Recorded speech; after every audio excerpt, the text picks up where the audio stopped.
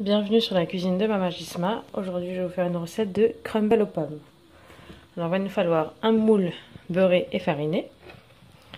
Ici, j'ai 4 pommes que j'ai épluchées. J'ai retiré les pépins, j'ai coupé en dés. Pour les pommes, j'ai mis 35 g de sucre en poudre, 35 g de beurre. Ici, une, une petite pincée de sel. Et là, j'avais plus de gousses de vanille, donc j'ai pris les gousses qui me restaient, mais elles sont déjà vides soit vous mettez du sucre vanillé, soit vous mettez une gousse de vanille entière.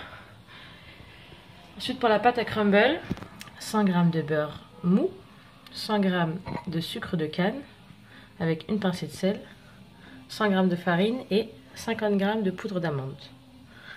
là on va commencer par les pommes. Je vais faire chauffer mon beurre dans une casserole. Je suis désolée, il y a une partie qui a été coupée au montage.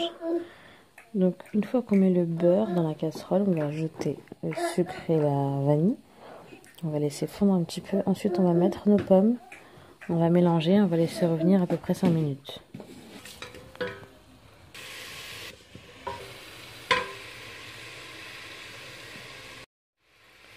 Je sais pas si vous voyez comme moi, mais vous voyez mes gousses de vanille, elles étaient vides. Je les ai gardées quand on les utilise, on les garde, on les met dans le congélateur, dans un petit film. Vous voyez qu'il reste encore des, graines dedans, les pommes. Encore des graines. Donc il faut toujours garder ces gousses une fois qu'elles sont vides. Même si on veut les remettre à infuser ou si on veut gratter les graines qui restent.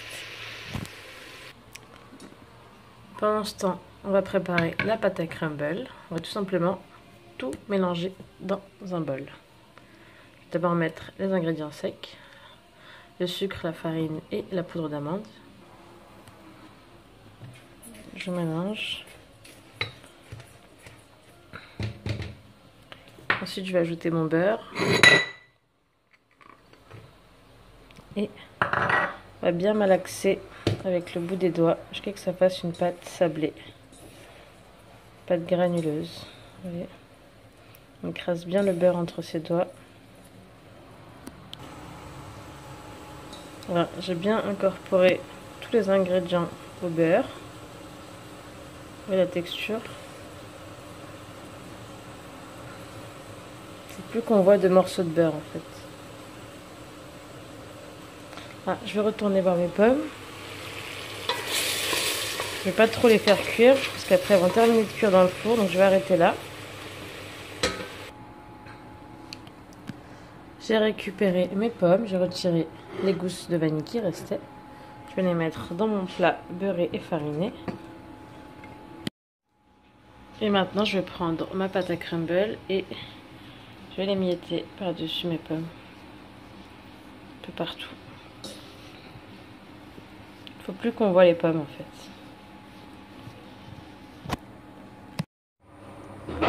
Une fois qu'on a bien émietté toute la pâte à crumble sur toutes les pommes, on n'a plus qu'à mettre au four 30 minutes à 180 degrés, dans un four chaud. Et voilà, mon crumble est prêt. J'espère que cette recette vous a plu.